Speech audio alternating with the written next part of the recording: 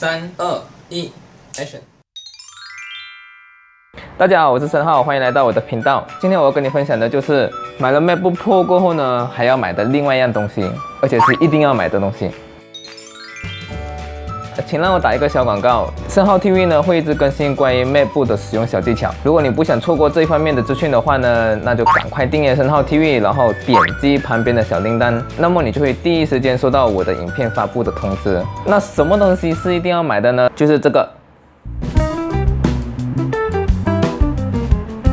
这是 USB Type C 的一个孔文的。我们都知道哦，这个最新的 MacBook Pro 的底 n 呢，就是以轻薄时尚作为他们的主轴。所以呢，以前的那些 USB port 啊、LAN cable port 啊、Card Reader 啊，这些通通都不见了。取而代之的呢，就是这个 USB Type C 的 port，而且呢，还有四个。怕死没人知道这样，可是这个 USB port Type C 呢，现在还不是一个非常 popular 的东西。这个东西呢，就只有 MacBook 自己可以用来 charge 电罢了，而通常需要文件呢，都是用 hard disk 或者是 pen drive。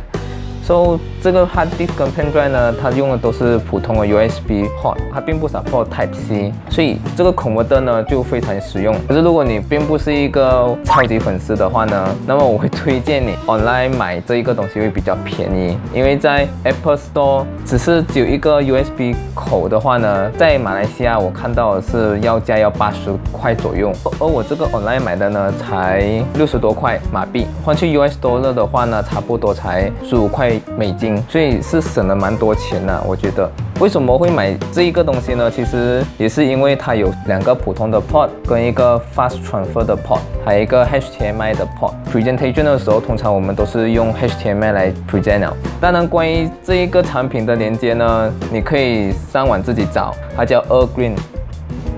如果你懒惰找的话呢，我我就在我的 description 那边放下这个链接，呃，你可以点击去看参考一下。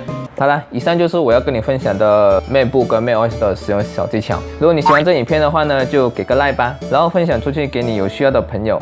你觉得这个东西值得买吗？或者是你有更好的东西？那么留言在下面跟我分享。那么我是郑浩，我们下个影片再见，拜拜。